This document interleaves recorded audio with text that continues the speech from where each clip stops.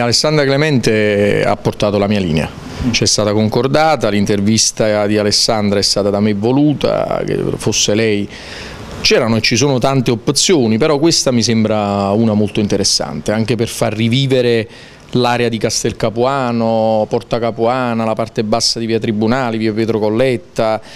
poi interpretarla non semplicemente come una mostra di vittime della criminalità, ma un messaggio forte che dalla morte si passa alla vita, alla dinamicità, al riscatto, all'antica murra delle storie vere, un po' come la storia di Alessandra e di tanti altri che potevano scappare,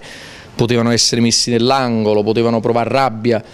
per i figli di questa città e invece stanno donando amore e impegno civile per Napoli. Io così lo vedo, non lo vedo come un luogo della morte e del cimitero, è chiaramente anche un luogo della memoria, del ricordo che deve essere sempre vivo, ma un luogo dinamico in cui si esercita l'antimafia dei fatti e non eh, diciamo, quella solamente delle celebrazioni chiederai di accelerare Presidente anche sì. al Ministro, potrai, cioè, ti,